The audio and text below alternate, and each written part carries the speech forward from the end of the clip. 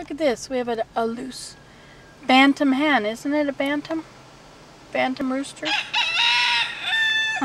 Walking down the road between the 523 Adams building on whatever this is. Beside the law offices. Look at this. A whole bunch of them out there. I know bantams can just get loose.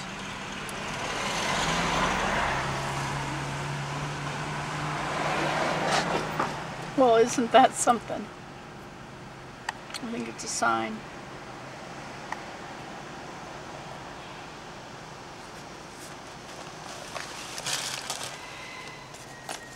I hear other ones.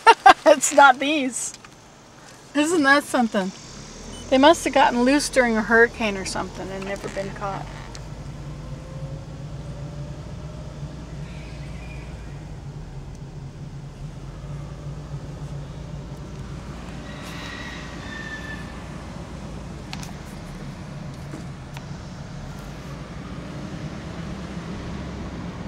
Unbelievable. Chickens loose in town.